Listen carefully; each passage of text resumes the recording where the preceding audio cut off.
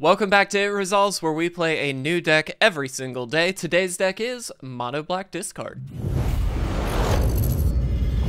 What's going on guys? Welcome back to the channel. I hope you guys are doing exceptionally well today. We are going to be testing out a little bit of a mono black discard build here. This is one that I've kind of thrown together. Literally this morning I was like, man, I just really feel like playing discard. I actually looked at the channel. We haven't played a dedicated discard deck uh, since Crimson Vow, which is kind of ridiculous because it is a very strong deck in the meta, uh, just in general, uh, at least from my understanding. I don't play, I, I think it would be a little bit better in traditional maybe? I, am not sure. But regardless, I thought I would try it here.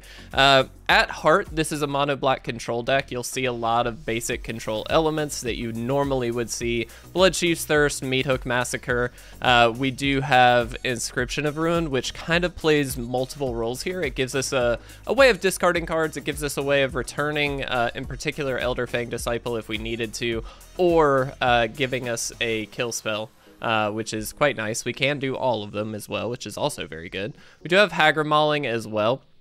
Uh, and then the Invoke Despairs I thought would be a really nice touch with this, along with Blood on the Snow. So we really do have a fairly strong removal package, so I'm not terribly worried about onboard presence. I think we can handle that for the most part. Uh, Professor Onyx is also in here as a way to kind of uh, help that process as well. Um, long of the short of it, though, is I kind of just wanted to see what we could do testing out a bunch of different cards. I've noticed in looking at a lot of discard decks, there's a different skews of which spells get used. Some run Duress, some run Dredge Fuge, some run Go Blanks, not all of them. It's There's a lot of like back and forth, and so I'm kind of testing out all of them, and so as we're going through this, just know that this deck is very much a test deck. I'm just trying some stuff out here, so please don't get too terribly upset if you try this and you're like, ah, oh, this isn't very good. I will say in practice, I've practiced two games so far, uh, I, I was able to win both of them uh, fairly handily as well. It was relatively easy.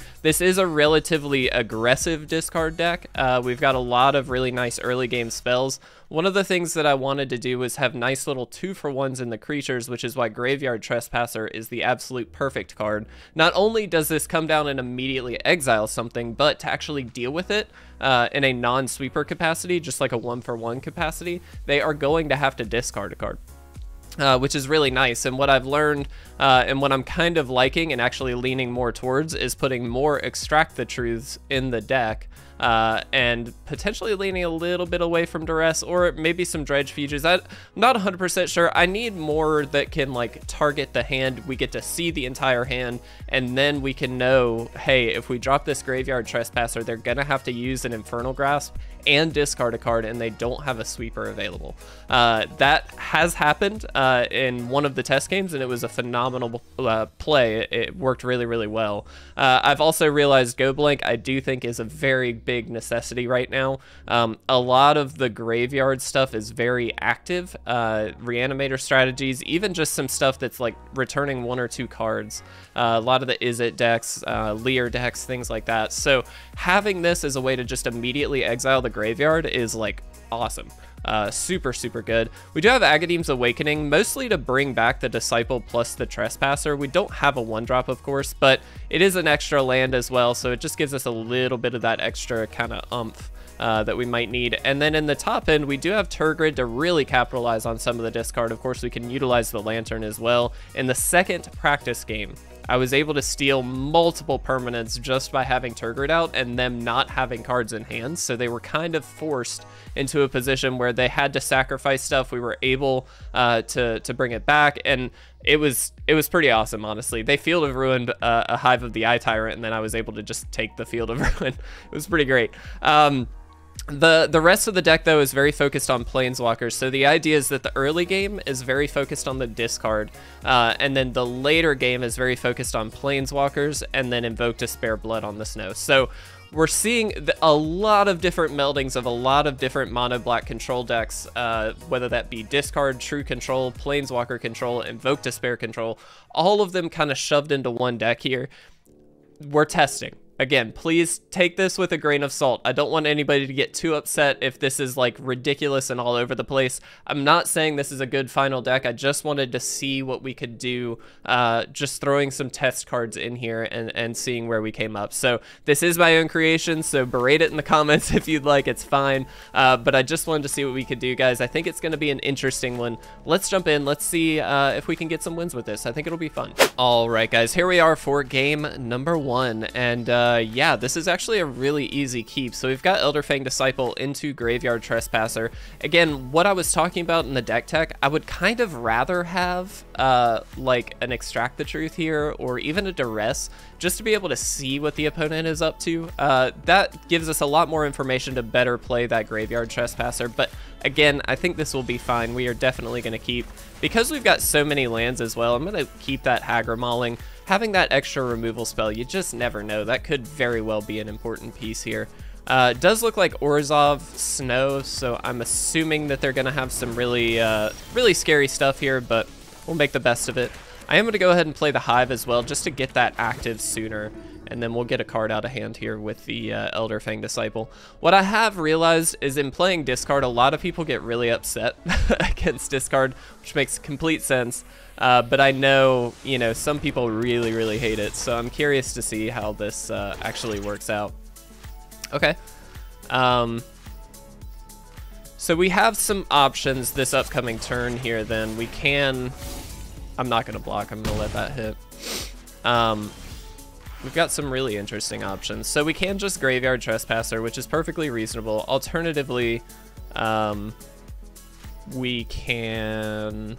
Bloodchief's Thirst one of these, uh, or Hagra Mauling this while it's still kind of an active play. Um, hmm. I think I'm going to take the opportunity to Hagra Mauling this. I'm expecting they will have a basic at some point, uh, and so I'm leaving this up on blocks because, again, we're not trying to be aggressive, and I'm very glad we did the Hagra Mauling now that we see that. Um, I think I will take the block now. Uh, they're probably just going to Deadly Dispute this. Yeah. And that's perfectly fine. Um, but I'm glad we at least blocked, saved ourselves a damage at the very least, and we'll see what they come up with here. Uh, maybe nothing, maybe something, maybe just draw a card. Um, curious. They may have a Vanishing Verse just to get rid of the Disciple. Not that that's a great use of a, of a vanishing verse, honestly. But that's another thing with the Elderfang Disciple. I really like it because it's immediately a one for one, right? Like they immediately have to discard a card. Really great option for that. Um, but what's really I think funnier is that eventually they of course are gonna deal with it. Now that might just be a Meathook Massacre, but sometimes it's not, and uh, it's a little bit funny. All right, let's go ahead and do this. We'll see what they do. Um, Let's go ahead and get the creature out of there just so we can gain an extra life. Um, Alright, so we're two mana away from Professor Onyx, which we do have that mana in hand, which is great. Hopefully they don't have a sweeper. Again, this is where an Extract the Truth or Duress even would be great because I would love to know what's in their hand.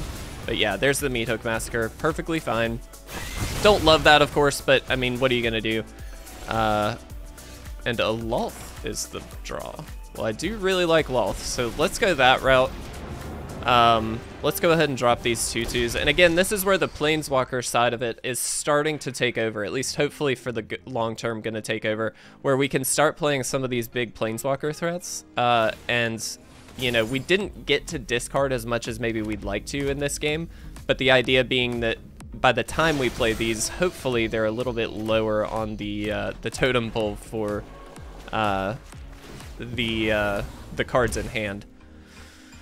Interesting. Go blank, huh? So we can see the truth, or extract the truth, wow, and then go blank. I think I'd rather Professor Onyx first, though. Uh, the reason being, obviously, that Magecraft is pretty awesome if we can get it. Um, do we take the Blood on the Snow, or do we take the Inscription? I think it's actually the Inscription. As much as I don't want to lose the blood on the snow. I'm also not going to attack here. They do have the Reckoner Bankbuster if they play just anything. So, um, you know, creature with creature value three power is able to crew this, and so it's not a very long stretch to assume that they can do it. Looks like they're not going to be able to here, though, which is pretty awesome. Uh, let's go ahead and just take a snow lamp. All right. Um, well, let's do this. Ooh, I do really like Invoke Despair here. Um, so that would hit this and the enchantment. Uh, that would give us a pretty good safe-ish attack. Uh, alternatively, we could try and hit multiple things. I kind of like, here's the thing. I kind of want to do the safer play, which I think is the extract the truth. Um, we just get a chance to look at their hand here. Ooh, they've got farewells. Oh, well, that's less than ideal. Um, hmm. Okay. Uh, with that in mind, let's go ahead and do this. Let's go ahead and force them to discard two more. So basically their play is going to be exiling creatures and planeswalkers, I assume.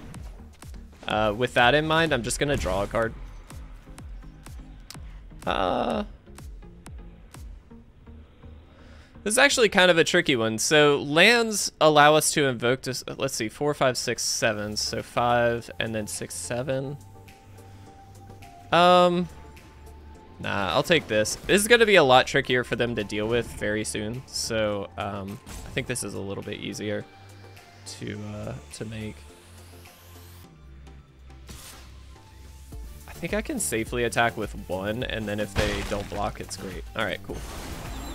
They're going to farewell this turn, I assume. Uh, they do need to hit a land, I suppose. They could Doomskar, maybe? I don't know. I wasn't really looking at their lands, but they are behind on lands, which is kind of interesting. So obviously we just block here, and then they're not going to Deadly Dispute. Okay. Uh, cool. That's fine. Um, choose up to two non-land permanents. Return. You control to return to their owner's hand. I mean, these two. Okay. Uh, that was fine. That was interesting. Uh, I don't know that that was a great play, but I'm super into it. Uh, okay. Let's see. So we can invoke despair plus extract the truth. Um, hmm. That doesn't seem very good. We can do this. Alternatively, we can just get Professor Onyx kind of going here. And I actually think that's probably the best play. No, you know what? Actually, let's Lolth. Uh, let's go ahead and drop the two creatures here. We're just going to spread this out as best we can so it makes it a little bit trickier. Uh, Extract the Truth doesn't hit anything at the moment, so it's only creature, enchantment, or planeswalker, and they have none of those in hand, so that's kind of where that isn't a good play. Um, but this sets up a Planeswalker avenue plus the creature avenue. So like they're basically going to have to have a sweeper like a Farewell or something to deal with both. Ooh, excuse me, I burped there. Something to deal with both.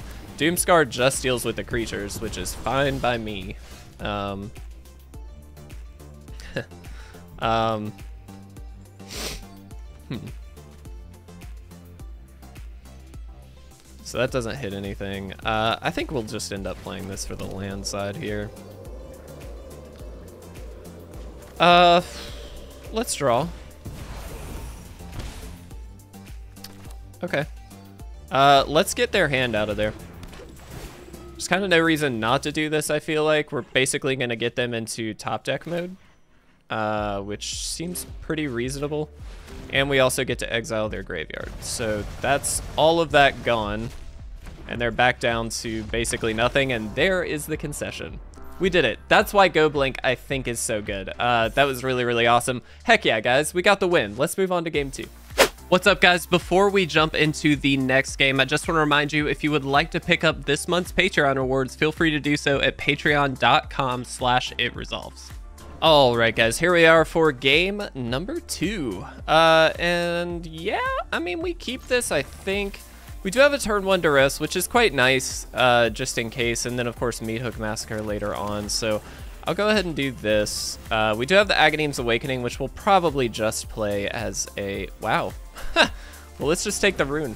Um, we'll probably just play as a land here. Uh, this is fascinating. So they kept a very not great hand, in my opinion. Um, we'll let that sit. If they play any creature we just Bloodchief's Thirst, they will probably not be able to deal with the Graveyard Trespasser um, which is fascinating and really good because we actually just get to exile this rune right away. Um, so they can't get that back with a Runeforge champion or anything. They do have Showdown, which is a little scary, uh, but I think it was correct to get that rune out of the hand first. Uh, so this is fine. We just get to kill it next turn. um, yeah, I mean, this is totally fine. Um,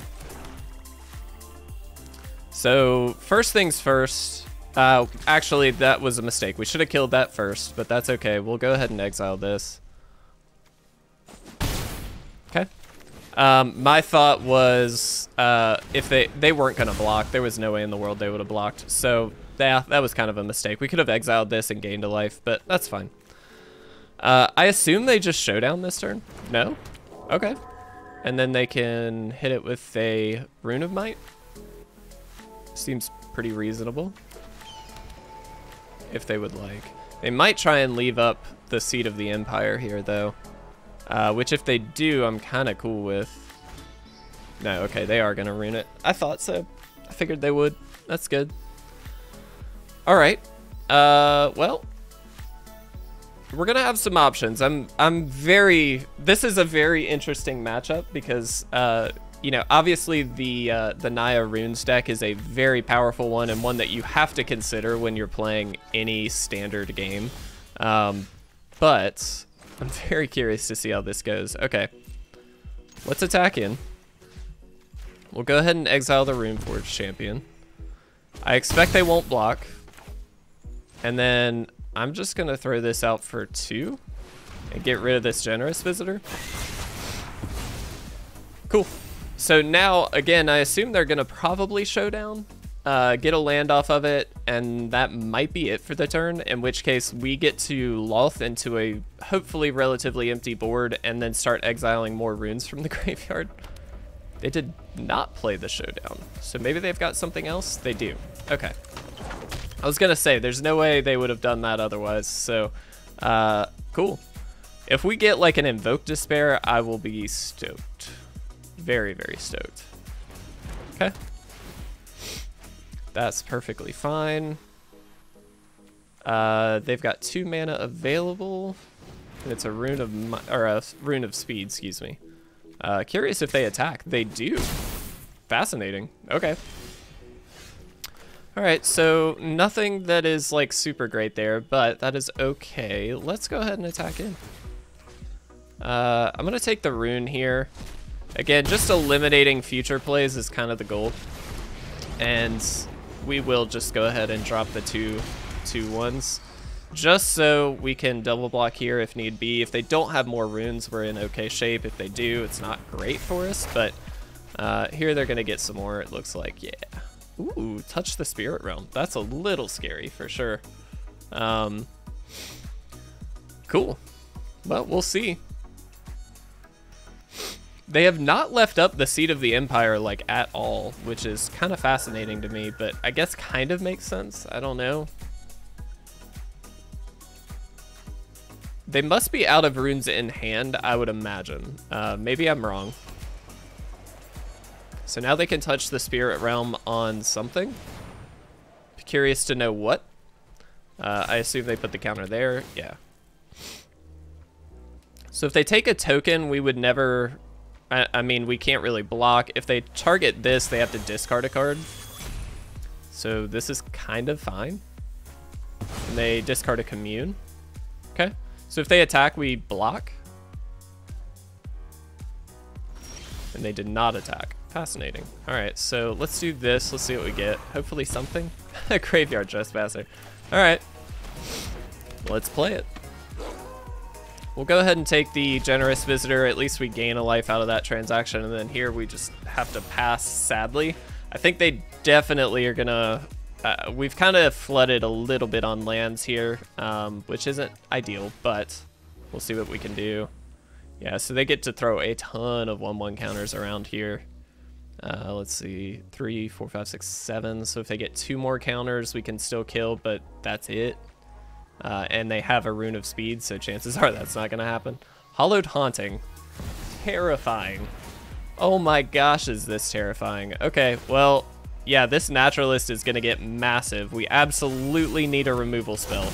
Um, and I'm not sure the best way we're going to be able to get that, because my assumption is they're going to kill Lolth. A Blood on the Snow would be great. Um, any point and shoot removal spell would be perfectly fine. Um, discard is not good anymore. Inscription of Ruin would be fine because that would kill the the naturalist. Um, yeah, this is this is tricky. so that's officially out of range for us to kill it, and it has flying.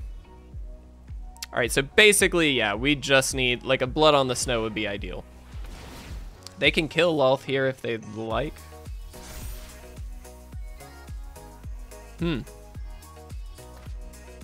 I mean, we know their hand, uh, so I guess there's a positive there.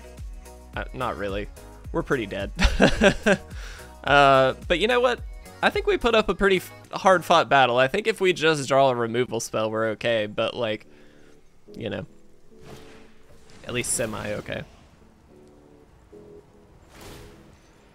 So they're being very clever and putting more counters on the Visitor now, which is definitely the way to go.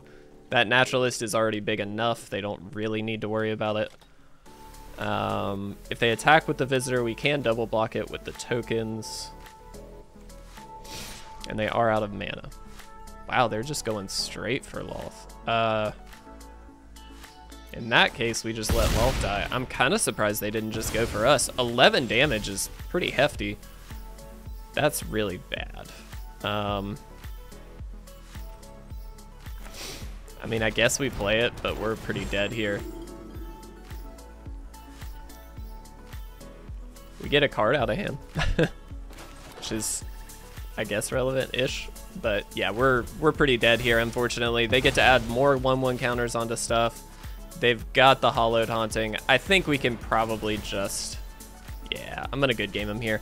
All right, let's move into a game three, guys. We're to be pushing time a little bit, but let's see if we can do it. All right, guys, here we are for our third game. Definitely to be our last game, and I'll keep this. I mean, it's Elderfang into Graveyard Trespasser, into Sorin, and then hopefully Invoke Despair. Like, this is a beautiful curve if we can get some more lands, uh, which is generally not too difficult. There's one right there. So now we're up to at least Sorin.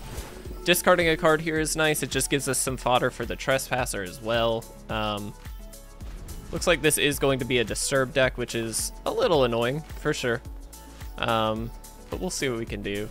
Snow deck as well, so I'm assuming they've got fight spells. They're going to Portable Hole on an Elderfang Disciple when they have a 1-1 First Striker on the field. Maybe would have left that one alone, but that's fine. Uh, that's actually a really good draw. Um, this is also very nice. We can go ahead and get this out of the graveyard so they can't do anything about it. Uh, or, excuse me, disturb it back out.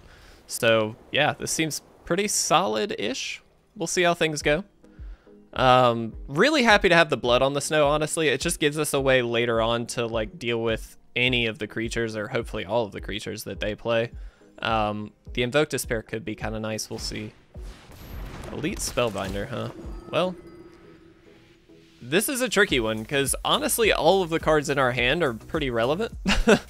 So, not really sure what they're going to take. It looks like Invoke Despair, which is kind of surprising given we have Sorin coming down this upcoming turn, but maybe they've got something in their hand to deal with Sorin, I don't know. We're just going to go ahead and throw the token out there. Uh, do I attack? Uh, no, I don't think I do. I don't see a huge reason to. If they deal with the 2-3, they can certainly kill Sorin, which is, like, fine. I don't really care that much. Intrepid Adversary, they're going to plus up, I assume. And this is fine still too. Okay. Land is good. Land is very good. Um, let's go ahead and plus up. wow. Um, that's a lot of damage. Um, yeah, screw it. We're gonna do it. that's a lot, but we're gonna try. Uh, so we could play this out uh, as the Lantern. Or we could just play an Elderfang Disciple. Um, I'm gonna just play the Elderfang Disciple here. Let's get another card out of hands. Uh, this could be really bad for us depending on what it is that they get. Okay. And what's in their graveyard? Nothing too crazy yet. I'll uh, I'll just hold back. We're kind of shields up at the moment. Um, part of the reason, by the way, I accepted the Tergrid damage is because if we get one more land, we're in great shape. Uh, because now all of a sudden we kill our whole board, sure, but then we can get something back and they... Oh, okay. Well, that's really terrible. Um, interesting. So now it could just be that they kill Blood on the Snow. Yeah, okay. Not kill it, but make it difficult to play. Um, certainly not ideal, but... Alright.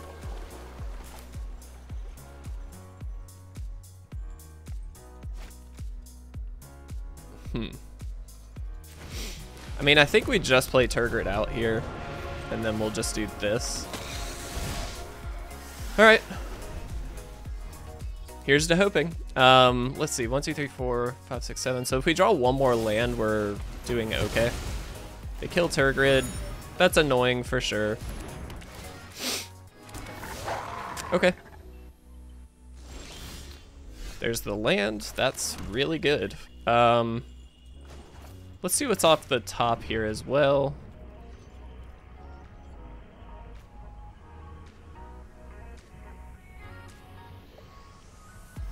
I'm actually gonna reveal this. Uh, no, no, no, cancel, cancel, cancel. All right, let's go ahead and just invoke despair. Um, all right, well, we get to kill a bunch of stuff, so that's good. Uh, I'm curious to see... Okay, so they do discard that. That makes sense. Get another Invoke Despair. That's very good. Um, I'm going to attack here so we can get this off of there. Um, and if they want to block, that's fine. Yeah. So they're going to sacrifice theirs. That makes total sense. That's fine. Um, but we're still in a much better board position, I think, than they are long term. So, especially with that draw, that's not good uh, for them. uh, yeah, this is reasonable enough. Wow. Oops.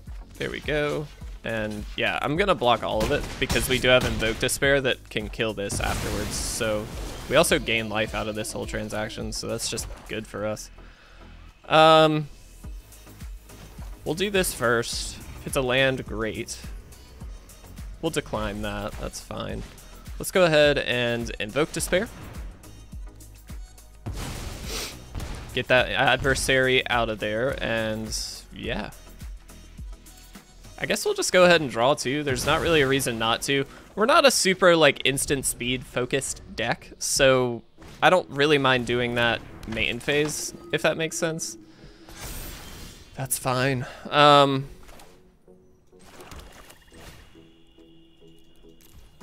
Excellent. All right.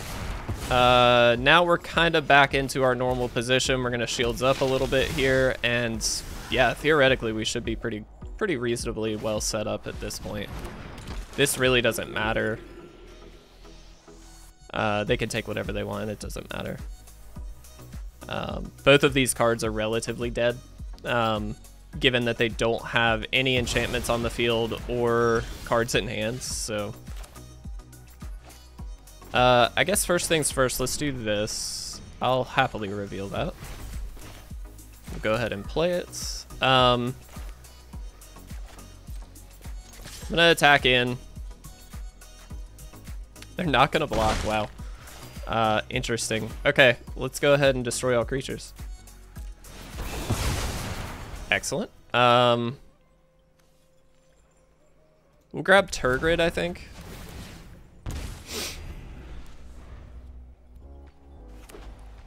Awesome. All right. I'm feeling pretty good. And there it is, guys. We got the win. That is two and one, I believe, is the final record. Not bad. Let's talk about this deck. All right, guys, so again, I just want to reiterate before I talk about this in too much detail, this is very much a test version of my own discard deck. So a lot of these cards you'll notice, eh, you know, you probably noticed in the deck tech, there's a lot of two ofs and things like that. I would definitely be swapping some stuff around here. However, I really like the deck. I thought it went out, I mean, relatively well excuse me. Uh, two out of three wins is not bad. The loss was obviously to Naya Runes. I think that's not uncommon, um, but I do think we have the answers to it. We just maybe don't have enough, or we just didn't draw them. I mean, that's that's okay too. Um, we do have a lot of opportunity to draw cards off of things like Sorin, off of Lolth, even off of, um, excuse me, off of uh, Professor Onyx. So we've got a lot of ways to draw further into the deck, which is why I didn't go quite so heavy on the sweepers. We just didn't draw it, and you know, it's okay. Um, regardless, I really like the deck. I think it worked very, very well overall. Uh, again, with swapping a couple of cards around, I feel like it'd be in a much better position. Uh, but I love the Graveyard Trespasser, an absolute all-star in my opinion, uh, along with a lot of these discard outlets, just makes it really tricky for your opponent to really be able to do anything. And then exiling the Graveyard with Go Blanks as well as the Trespasser just allows you to really take apart a lot of decks right now. So for me, great awesome deck. Really enjoyed playing this one, and I hope you guys enjoyed it. I do really appreciate everybody watching and supporting the channel. It's been an absolute pleasure to bring you gameplay videos literally every day, and I hope we'll continue that for a long, long time. So thank you guys so much. I really do appreciate it. Thank you so much for watching. I'll see you later.